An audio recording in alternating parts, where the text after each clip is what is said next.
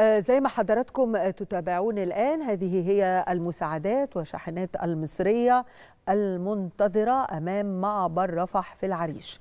الحقيقة بطول المساعدات المصرية اللي فيها كل المساعدات لأهالينا في غزة من الغذاء والدواء وأيضا كل المستلزمات التي يحتاج إليها أهلنا في غزة. هذه الشاحنات يعني الواقفة منذ أيام طويلة تنتظر فتح معبر رفح ونتمنى أن يتم الفتح من خلال الساعات القليلة القادمة بإذن الله. طول هذه المساعدات المصرية الجميع على قلب رجل واحد. مصر أعدت هذه المساعدات من خلال التحالف الوطني الأهلي التنموي وهذه المساعدات كلها من قلب مصر وإلى أهالينا في غزة.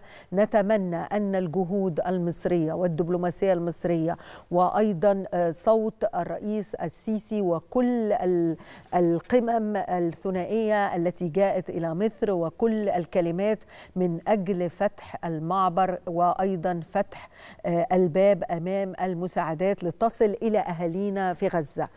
فزي ما حضراتكم شايفين نحن نتابع مع حضراتكم هذه المساعدات وكله الحقيقة متوقف ومستعد للحظة فتح المعبر ودخول المساعدات. نتمنى أن تصل إلى أهالينا في غزة ويتم فتح المعبر من خلال الساعات القليلة القادمة. هذا الموقف كله موجود والمشاهد من أمام معبر رفح في مدينة رفح المصرية.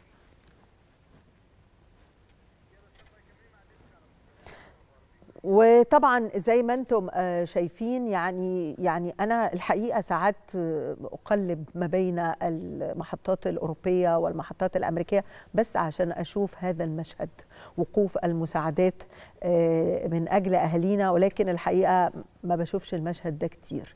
يمكن يعني زي ما ضيفي في الفقرة السابقة قال إنه بدأ يبقى في شيء من الطفيف من التحسن بانه ناس بدأت يمكن تقول لابد من وصول المساعدات. ولكن في الحقيقة نحن أمام إعلام غربي يقلب كل الحقائق. ومفبرك وإعلام غربي لا يعترف بالحقيقة ابدا. زي ما ذكرت كمان لحضراتكم في البداية حتى بدأ يبقى في بوسترز أو أو أو صور أو تعليقات تقول أن الصراع الدائر في الشرق الأوسط بين فلسطين وحماس. واختفت كلمة القضية الفلسطينية واختفت كلمة الأرض المحتلة وكأن هذا يعني ذهب مع الريح في التاريخ الماضي.